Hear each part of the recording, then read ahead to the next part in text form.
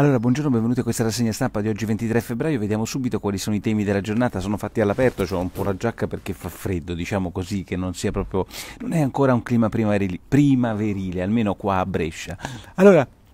nella giornata la notizia fondamentale forse è questa Fitch, l'agenzia di rating, e le interpretazioni sui voti dell'agenzia di rating, tra l'altro la più sfigata delle tre, Moody's e Standard Poor's, vengono considerate le due grandi agenzie di rating e poi arriva Fitch, ce ne sono anche altre, e che in realtà il messaggero dice graziata, mentre il giornale dice duro il dato del, di, dell'agenzia di rating, così come anche Giannini su Repubblica, insomma ne prendono un'interpretazione più negativa. Buongiorno a Rita che vedo che ci sta guardando. La realtà è che loro si permettono di dire che in Italia tra poco arriveranno delle elezioni anticipate, secondo loro il 2019. Allora io mi chiedo, ma perché questi signori delle agenzie di rating non li invitiamo in trasmissione, non ce li portiamo a casa? Cioè, sanno tutto, sanno dove va l'economia, sanno quando ci saranno le elezioni in Italia, riescono a capire i rapporti tra Grillo e Casaleggio e Salvini, ma voi avete mai visti quelli che lavorano per le agenzie di rating? Avete mai conosciuto delle persone in Italia che lavorano per le agenzie di rating o sono forse nei loro ufficetti di Londra e ci spiegano attraverso la lettura dei giornali che cosa sta avvenendo in Italia attraverso le loro pippe mentali,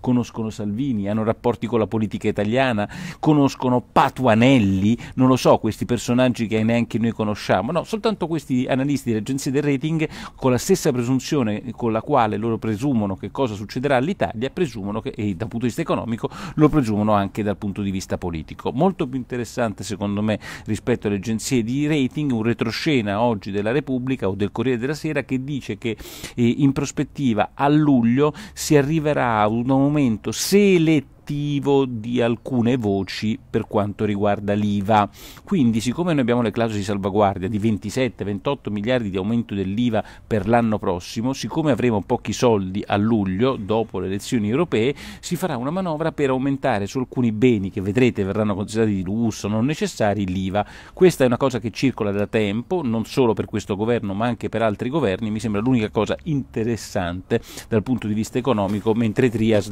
sta smentendo completamente completamente ogni tipo di manovra aggiuntiva sui giornali di oggi. L'ANCE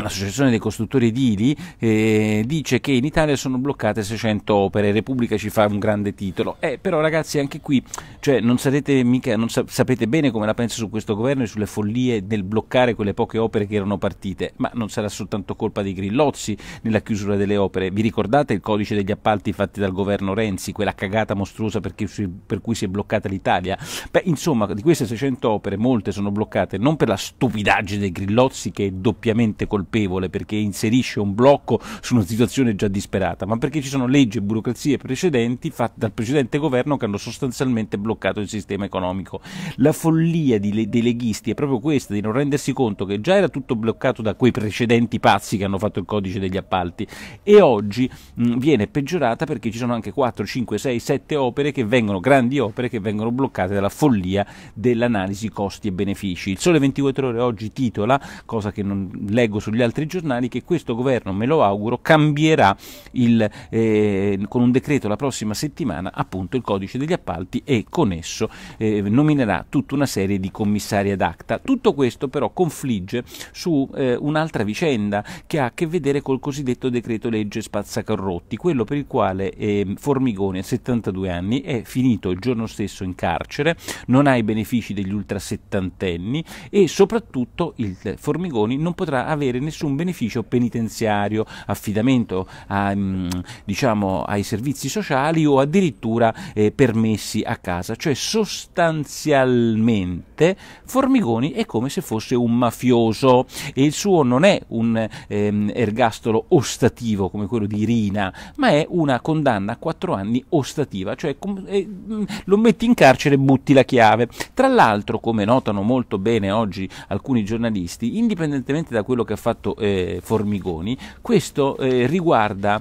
è una condanna che peggiora la vita carceraria in maniera retroattiva perché quando lui avrebbe commesso, ha commesso secondo le sentenze questi reati, beh non c'era ancora questo spazza corrotti, quindi lui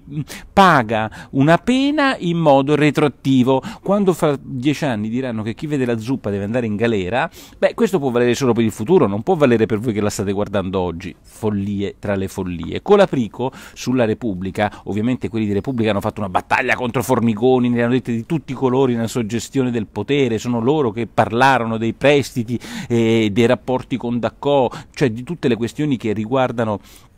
Vedi qua, politici corrotti e ladri per me sono più dei mafiosi. Complimenti, una buona idea. Qua, più dei mafiosi, quindi la proporzione della pena non vale. Cioè,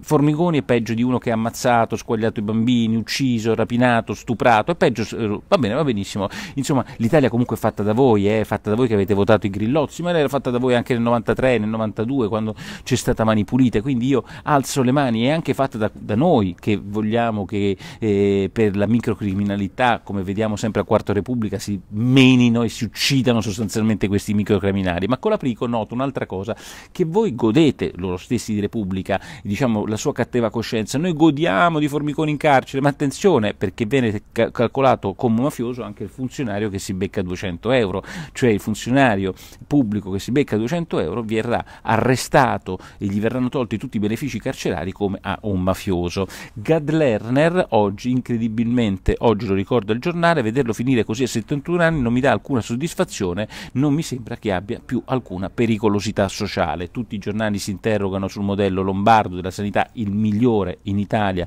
che è stato costruito da lui, intervista di Lupi, ma soprattutto molto bello, secondo me, la testimonianza della sua portavoce Gaia Carretta su Facebook, oggi ripresa dal giornale il Corriere della Sera invece dice che il procuratore generale è già pronto a dire di no ai domiciliari per Formigoni, proprio probabilmente in virtù di questa legge. Reddito di cittadinanza, ci sarebbe da dire ancora tanto su Formigone, ma non è questo il momento per farlo. Ehm, reddito di cittadinanza favoloso. E, è comparsa una norma eh, attraverso un decreto. Io non sono scandalizzato sul fatto che nessuno possa controllare come si spendano le cose, perché questo è successo ieri in un emendamento che è stato portato. Cioè, se io con questa card mi compro, eh, non so, eh, le ore, che non c'è più, o un film porno, lo posso fare perché non si può controllare? Perché è la privacy. Quindi i soldi miei li do allo Stato, lo Stato li dà attraverso il reddito di cittadinanza, perché il reddito di cittadinanza non è altro che la ridistribuzione dei miei soldi a quelli che non ce la fanno, e lo Stato non può controllare come li spendi. E perché? Per la tutela della privacy. A me mi fa venire in,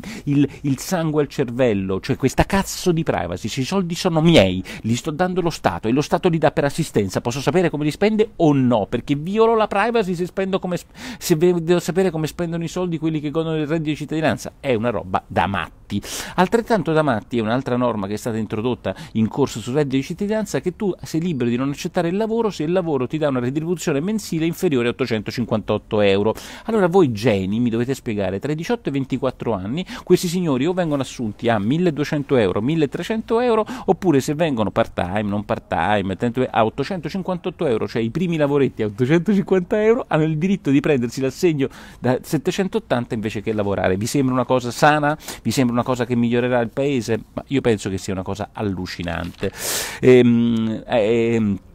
interviste, due o tre cosette leggere, eh, bah, sai, su politica c'è Casaleggio in un colloquio col Corriere della Sera, un fake, non leggetelo, è semplicemente la risbobinatura di un incontro che fece ieri Casaleggio al Corriere della Sera dove dice praticamente nulla come sempre Casaleggio. C'è una bella battaglia tra Casaleggio e Conte per capire chi di due parla di meno con i giornali, cioè parlano ma dicono poco, dice che sono un migliaio le persone che sono già candidate alle europee, hanno proposto le loro candidature alle europee per il Movimento 5 Stelle, dice Casaleggio al Movimento ma il fatto già che gli diamo peso a sto Casaleggio, Casaleggio, avete visto quella faccia che c'ha Casaleggio? Gli diamo peso, non è come quella merda di Grillo, anzi io non ho nessun motivo per pensare che non sia una persona intelligente, per bene, non me ne frega niente, non è una merda come Grillo, non è un bulletto con i capelli bianchi, vanitoso e, e, e assassino come è stato Grillo, no, non è quella roba lì Casaleggio, quello è Grillo, la merda è Grillo, Casaleggio non so cosa sia, ma è totalmente inutile leggerlo sul Corriere della Sera.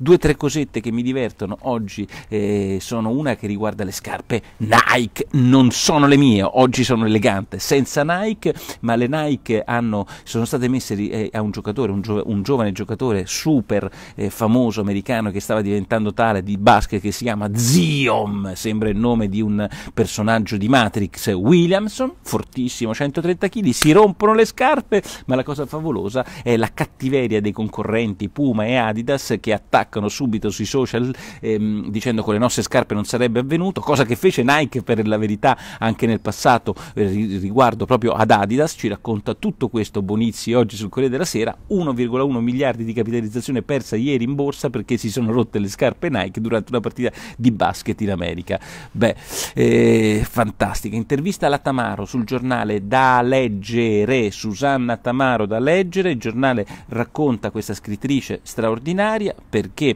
dice va dove ti porta il cuore, fu eh, tacciata di fascismo, siccome lei dice, non, eh, citavo i gulag di Tito perché io sono di Trieste, quindi so che dramma furono, oppure eh, uno dei miei personaggi leggeva Evola, ecco io sono diventata la fascista e siccome non vado alle cene e non sono di sinistra, eh, io sono molto poco amata. Tutta da leggere Susanna Tamaro, vi piacciono o non vi piacciono i libri, è comunque uno dei grandi fenomeni letterari italiani, così da ehm, le ultime due notizie riguardano il mental coach mental coach. Allora, la Grillo è il nostro ministro della sanità, sono quelli di onestà, onestà, onestà, e si è preso un mental coach a 35.000 euro all'anno, ma per me potrebbero essere anche 25.000, che paghiamo noi. Noi stiamo pagando 35.000 euro per avere un mental coach che parla con la Grillo e che gli spiega comuni- come comunicare bene. L'ultima cosa che ha fatto, video sulla legge qua, ehm, quadro, questa è l'ultima cosa che ha fatto, e ha guardato il video sulla legge quadro che dovrebbe aiutare i cittadini ad aspettare aspettare di meno quando fanno le visite.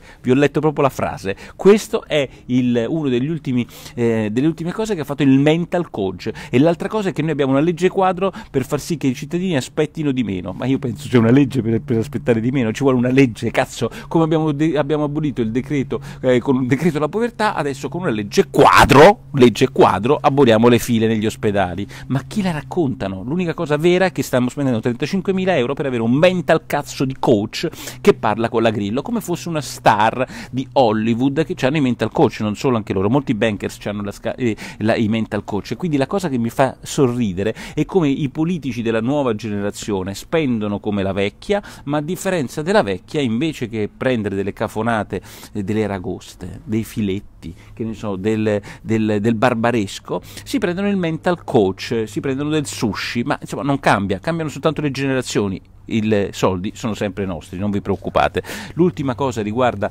invece un grande manager italiano che si chiama Bono, il capo di Fincantieri, che secondo Repubblica sarebbe a rischio perché lo vorrebbero far fuori. Direi che per oggi è tutto, vi do appuntamento come sempre alla zuppa di domani e mi raccomando rivolgetevi al mental coach perché il sabato è una giornata fondamentale per la vostra salute mentale e se vi piace questa zuppa condividetela ciao